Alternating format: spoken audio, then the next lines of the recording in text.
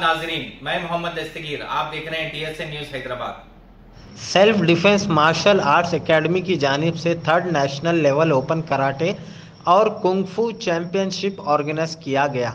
और ये martial arts academy Karman Ghat Masab Tank Chacha Nehru Park के पास है।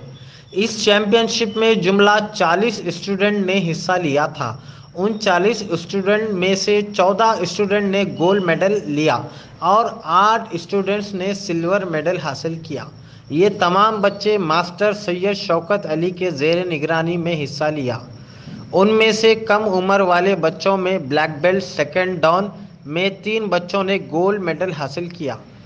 पहला नंबर मिस नूर फातिमा, उम्र 11 साल। दूसरा नंबर मास्टर अब्दुल बासिश शयान, उम्र 7 साल। तीसरा नंबर मास्टर अब्दुल वहीद अबरार उमर आठ साल। तो आइए देखते हैं इसी की एक रिपोर्ट।